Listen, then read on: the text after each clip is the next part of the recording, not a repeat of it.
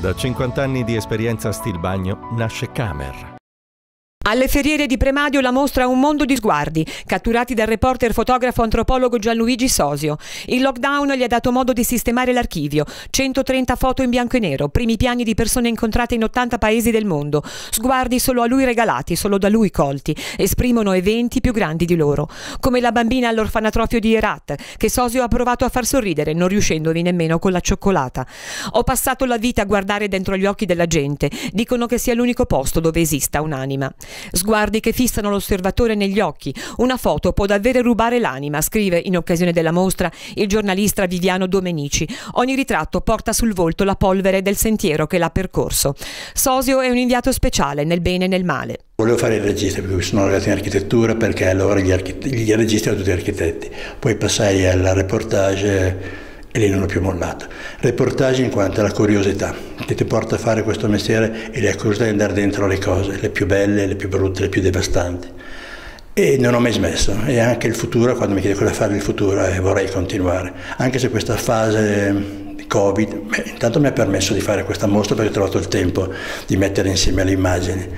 La paura è necessaria perché se tu, il pericolo è il panico, ma la paura ci vuole perché devi essere razionale e sapere come reagire in certe situazioni che sono decisamente un po' pericolose o quantomeno eh, preoccupanti. Ecco.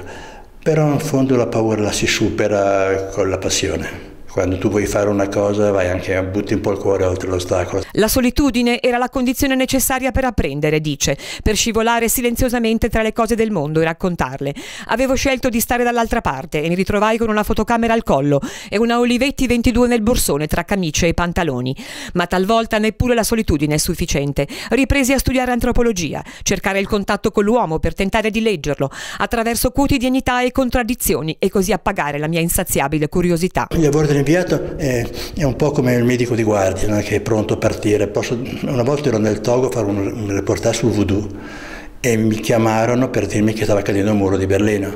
Io in due giorni passai da 40 gradi sopra lo zero che ero nel Togo a meno 20 di Berlino perché c'era un muro che stava praticamente, fisicamente e politicamente cadendo. Arrivai in questo lodge, in questo Gio Salazar, trovai le chiavi e venne la mattina a portarmi la colazione e mi raccontò di essere il pronipote di questo Billy the Kid e mi disse anche, ma io non ci ho creduto, che dove avevo dormito e dove avevano ammazzato Billy the Kid. E un gorilla è trovato nel, nel territorio da Jan Fossi e nei monti Virunga dove lei fu, fu ucciso di bracconieri e dopo quattro giorni di cammino trovammo questo gorilla che era il capo di questo branco ed era molto difficile dopo un giorno che si stava insieme ad osservarci reciprocamente considerare un animale e allora l'ho messo tra gli umani. Sosio coglie l'attimo che è solo per lui e poi svanisce.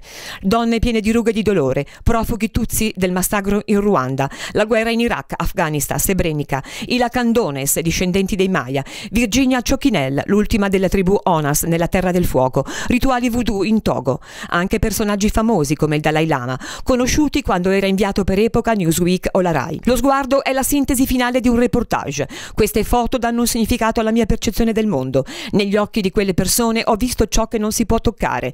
Uno sguardo è un momento unico ed irripetibile. Ti costringe ad andare oltre per approdare ad esistenze intere, anima dopo anima.